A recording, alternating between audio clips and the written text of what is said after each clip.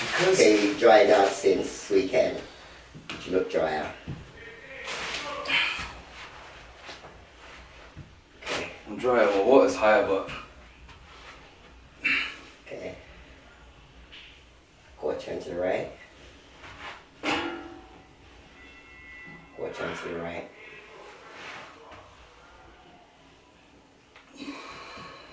Quarter turn to the right. To the right. Okay, the week set you back a little bit, mm, but you've dried out more. so, oh, I water. Yeah, you dried out a bit more than you were at the weekend. Yeah. You are a bit off for three weeks out, but that's because of last week. Yeah.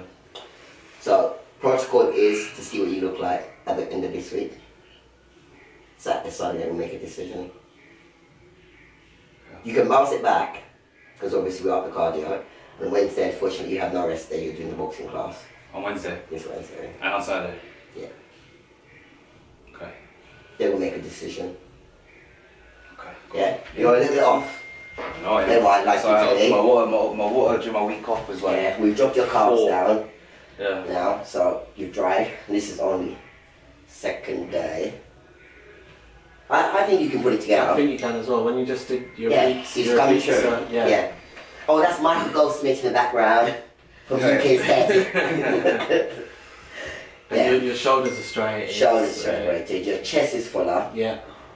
So let's see how you look on It's literally Saturday. just your Yeah. midsection. Yeah. It's just there. And we just need to add in some um, ab training. So tomorrow, I'm giving Marcus a few instructions for tomorrow and Saturday, and we'll take it from there. But you know what, in all respect, you're not looking bad. Cool. Yeah? Yeah. So I think the week to set you back a little bit. Mm. So non-training, just at uni, but your education comes first, babe. Yeah? This Yeah. week's gonna be a hard week, I know. but I gave you last week freedom. I didn't want to take that week. So I took it back. This will come back. you give something, I take something. Yeah. But I think you can put it together, man. Honestly, The waist is tiny, back is wide. Being Sure. like said, you're not, regardless, you're not going to step on stage if you're not ready anyway. Yeah. So you just, if you want to step up 120%, then step Yeah. up 120% now. Yeah. Yeah. So But yeah, yeah, I you think, hit that early qualification. yeah, yeah. Yep, yep, yep. I'm on it. I'm on it. Yo, what's up, YouTube? Today is Friday, the 7th of April. It's 15 days out, and I do apologize. I am sluggish a bit right now. So just woken up from a nap, under an hour, definitely. Nah, don't feel better. I did have um, back yesterday with Mark. I was supposed to vlog that, but um, just before I left the house, I checked my battery on my camera and it was 10%. So couldn't vlog that. But today I've made sure I'm fully charged. Well, I'm not. My camera is fully charged, sorry. and I have chest with Tracy and then low intensity cardio for 45 minutes after that. I I've seen progress this week, which is good. You know that conversation with Tracy and, and Mike from UK Aesthetics. um, I needed to catch up, and I'm I am catching up, but Tracy wants to take a look at me at the end of this week to make a decision whether she thinks I'm ready. Um, I think I will be. This week has been so tough, and next week will the intensity will only get higher. You know, I'll only be going harder to try and make up for time lost during my time at college. I've got boxing again tomorrow morning, nine thirty a.m. till eleven. I'll probably weight train again tomorrow afternoon as well, which is what coach made me do last Saturday. That was tough, but I want to catch up. I need to do whatever I need to do to get into condition. I am looking a lot better, um, but I'll save the quarter turns for the check in with coach to see whether she, you know, the decisions she makes. I'll leave it until then.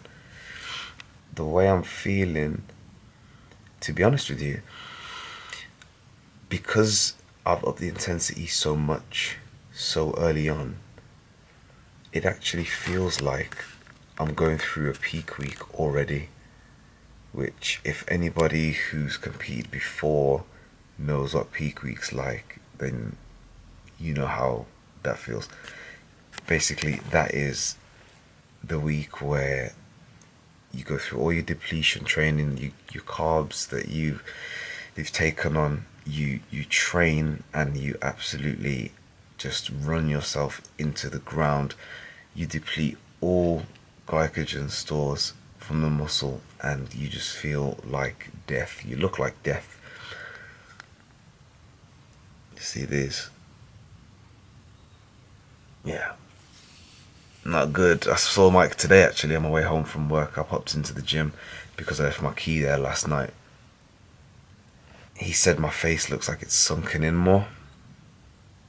I don't know. I feel like it has, to be fair. I thought I was tired before. I wasn't tired before. I am shattered now. And I'm only I'm only coasting on six hours six and a half hours of sleep a night. But the thing is it's not six there's a difference between six and a half hours and the six and a half hours interrupted by a toilet break, which I am having because I'm on seven liters of water a day now.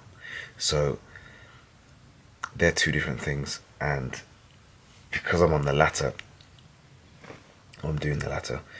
It's yeah, it doesn't feel good. So I need to see if I can try and up my hours of sleep, but I guess it's just prep.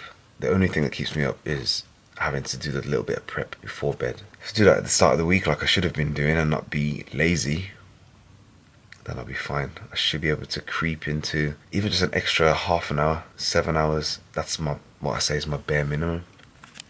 I like to get chest tonight with coach, so I'll be vlogging that because, as I said, camera's fully charged. So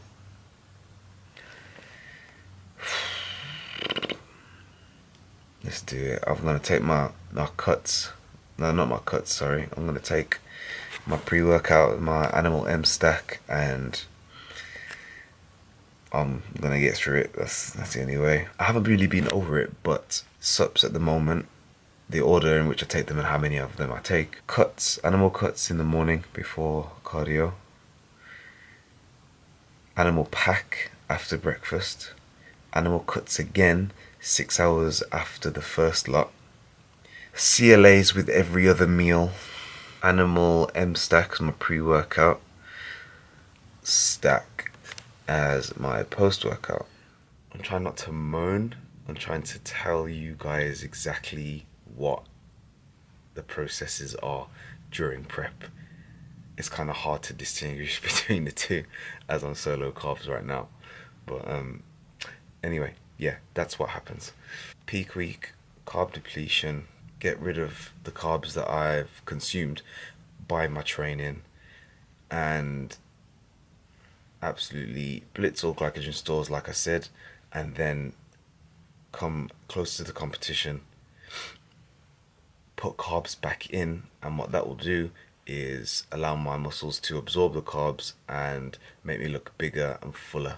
I'll be looking very flat when I drop my carbs low for a very long time that influx of carbs after a long period of time will make my muscles look fuller as they'll absorb it. You'll see close to the time. But yeah, this prep is it's starting to become the hardest one I've ever done because of playing catch up. So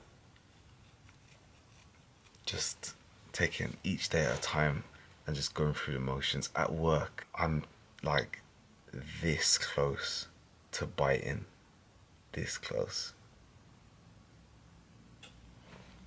I don't bite. Not physically, as in like I don't. I, just the banter at work. Like, I just can't be bothered. People are talking, you know, to say something, and you know, you disagree, you don't just shake it off. When you when you're dieting, you disagree, and it's like you have a response for everything. Anyway, I just zone out.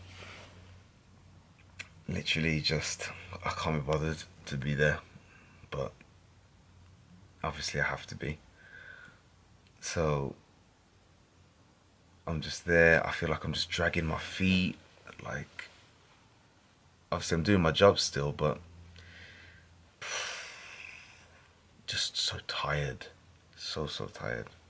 So, I'll catch you guys in the gym.